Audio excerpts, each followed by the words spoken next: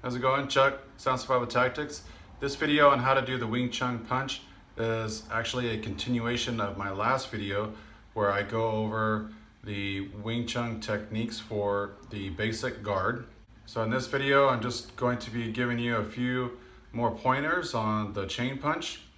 As you can see, I've got my uh, gym mat mounted up against the wall here. I've actually just stacked them up against the wall so I have a surface to punch.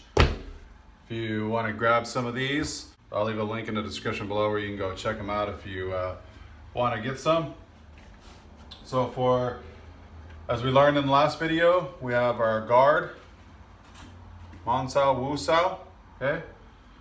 And making a fist, this is punching off the front, okay?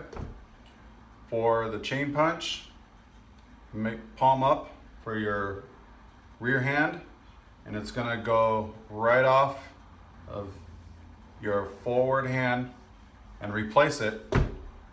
And then this one is going to come right back okay?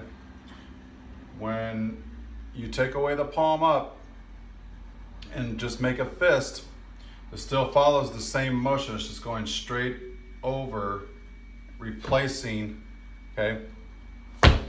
And this comes right back to about your elbow. Okay? Again, forward, back to the elbow. When you're connecting with the target, you see I'm connecting with my bottom knuckles here, right?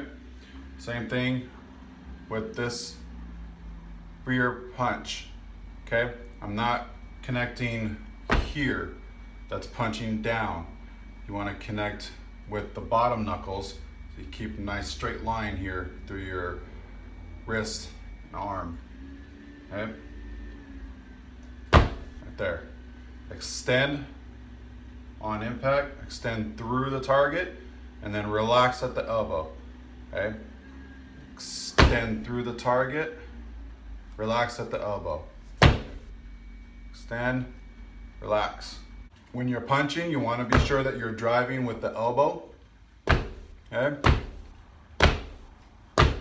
And then little secret here, you're also using your lats, okay? Your lats are going to be what's pushing the elbow forward, okay?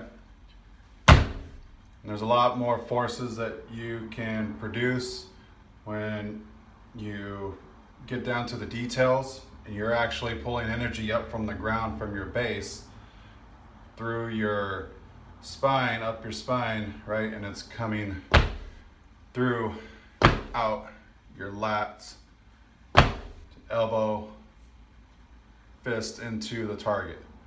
And this is where you can do the whole one inch punch, okay?